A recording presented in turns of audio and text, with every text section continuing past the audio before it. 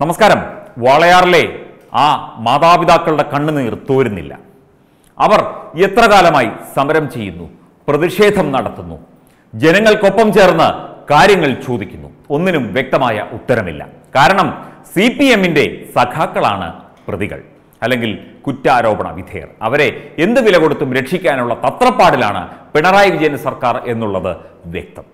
എന്നിട്ടും അവർ വീണ്ടും അവരുടെ പോരാട്ടം തുടരുകയാണ്. ഇപ്പോൾ ഹൈക്കോടതി വളരെ സുപ്രധാനമായ ഒരു കാര്യം സർക്കാരിനോട് അന്വേഷണ ഉദ്യോഗസ്ഥരോട് പറഞ്ഞിരിക്കുന്നു എന്നതാണ് ഇന്ന് പുറത്തു വന്ന ഏറ്റവും പുതിയ വാർത്ത. അതായത് വാളയാർ കേസ് അന്വേഷണം ഉടൻ സി ബി ഐ ഏറ്റെടുക്കണമെന്നാണ് ഹൈക്കോടതി നിർദ്ദേശം നൽകിയിരിക്കുന്നത്.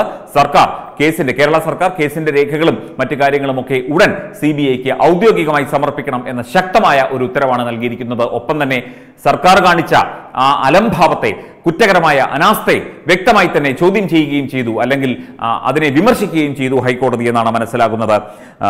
അന്വേഷണത്തിന് സർക്കാർ എല്ലാ സഹായവും പിന്തുണയും സി ബി ഐക്ക് നൽകണം. ഇവിടെ കേസ് അട്ടിമറിക്കാനുള്ള സഹായമാണ് പൊതുവെ ഇവിടുത്തെ സർക്കാർ സംവിധാനങ്ങളും രാഷ്ട്രീയ പ്രവർത്തകരും സി പി എംകാരും നൽകിക്കൊണ്ടിരിക്കുന്നത്. അത് പറ്റില്ല. ഇനി കേസിന്റെ കൃത്യമായ അന്വേഷണം ഉടൻ തന്നെ സി ബി ഐക്ക് കൈമാറാനുള്ള എല്ലാവിധ നടപടികളും വേണം എന്നാണ് ഇപ്പോൾ ഹൈക്കോടതി ആവശ്യപ്പെട്ടിരിക്കുന്നത്. കേസ് സി ബി ഐക്ക് വിട്ടുകൊണ്ട് മുമ്പ് വിജ്ഞാപനം പുറപ്പെടുവിച്ചിരുന്നു. എന്നാൽ ഇതിലെ ചില കാര്യങ്ങളിൽ അവ്യക്തത കാരണം കാരണം ഈ കൊടുക്കുന്നത് അപൂർണമായ റിപ്പോർട്ടുകളും അല്ലെങ്കിൽ അവ്യക്തമായ കാര്യങ്ങളുമാണ്. അപ്പോൾ ഇവിടുത്തെ പോലീസുകാർ അന്വേഷിച്ച കാര്യമല്ലേ? അപ്പോൾ അത് അവ്യക്തമായിരിക്കും അപൂർണമായിരിക്കും ഈ ഒരു വിഷയത്തിൽ. അല്ലാതെ നല്ല റിപ്പോർട്ട് കൊടുക്കാൻ ഇവിടുത്തെ പോലീസിന് കേരള പോലീസിന് അറിയാഞ്ഞിട്ടല്ല ഈ ഒരു കാര്യത്തിൽ സി പി എംകാരെ രക്ഷിക്കേണ്ടത് ഇങ്ങനെ നമുക്കറിയില്ല. അവ്യക്തതകൾ ഉടൻ പരിഹരിക്കണമെന്നും അടിയന്തരമായി കേസ് ഏറ്റെടുത്ത് അന്വേഷിക്കണമെന്നും കേസ് പരിഗണിച്ച ജസ്റ്റിസ് വി ജി അരുൺ ആവശ്യപ്പെട്ടു.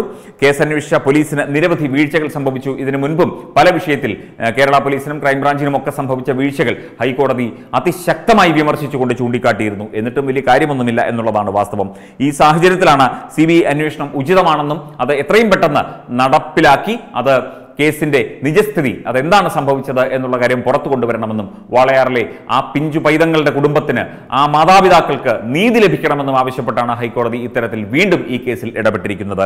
ചില ഫയലുകൾ കഴിഞ്ഞ ദിവസമാണ് ലഭിച്ചതെന്ന് കേന്ദ്ര സർക്കാർ കോടതിയിൽ വ്യക്തമാക്കി. കൃത്യമായി ഫയലുകളോ അല്ലെങ്കിൽ കേസ് സംബന്ധിച്ച ഡയറികളോ ഒന്നും തന്നെ സർക്കാർ കൊടുത്തിട്ടില്ല സി ബി ഐക്ക് കൈമാറിയിട്ടില്ല ഔദ്യോഗികമായി കൊടുത്തിട്ടില്ല എന്നാണ് മനസ്സിലാകുന്നത്. ഏതാനും ഫയലുകൾ കഴിഞ്ഞ ദിവസമാണ് കിട്ടിയത്. ഇതൊക്കെ ഒരുമിച്ച് കൊടുക്കാവുന്നതേ ഉള്ളൂ. കൃത്യമായി അന്വേഷണം നടക്കാതിരിക്കാനുള്ള ഇവിടുത്തെ ചില കുൽസിത ഗൂഢശക്തികളുടെ ശ്രമത്തിന്റെ ഭാഗമാണോ ഇത്തരത്തിലുള്ള നടപടികൾ എന്ന് സംശയിക്കേണ്ടിയിരിക്കുന്നു.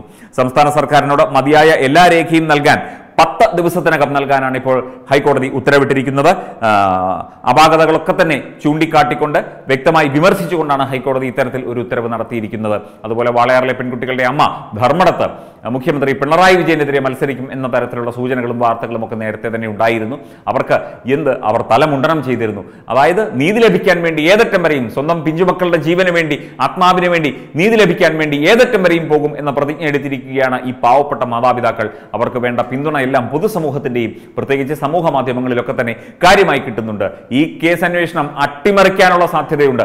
അപ്പോൾ കൃത്യമായി അത് സി ബി ഐയുടെ കയ്യിലേക്ക് കൃത്യമായി ഫയലുകൾ എത്തി. അത് കൃത്യമായി അന്വേഷണം മുമ്പോട്ട് പോയെങ്കിൽ മാത്രമേ ഈ കാര്യത്തിൽ എന്തെങ്കിലും ചെയ്യാനാകൂ. അതിനുവേണ്ട ഒരു തയ്യാറെടുപ്പാണ് സത്യം പറഞ്ഞു കഴിഞ്ഞാൽ കേരള സർക്കാർ നടത്തേണ്ടത്. അല്ലാതെ ഇതിനെ അട്ടിമറിക്കാനുള്ള ശ്രമത്തിന്റെ ഭാഗമായി സി പി എമ്മിലെ സഖാക്കന്മാരെ രക്ഷിക്കാനുള്ള ശ്രമത്തിന്റെ ഭാഗമായുള്ള തരികിട പരിപാടികളല്ല എന്ന ഒരു പരോക്ഷ വിമർശനം കൂടിയാണ് ഈ ഒരു തരത്തിൽ ഹൈക്കോടതി നടത്തിയിരിക്കണം നടത്തിയിരിക്കുന്നത് എന്നാണ് മനസ്സിലാകുന്നത്.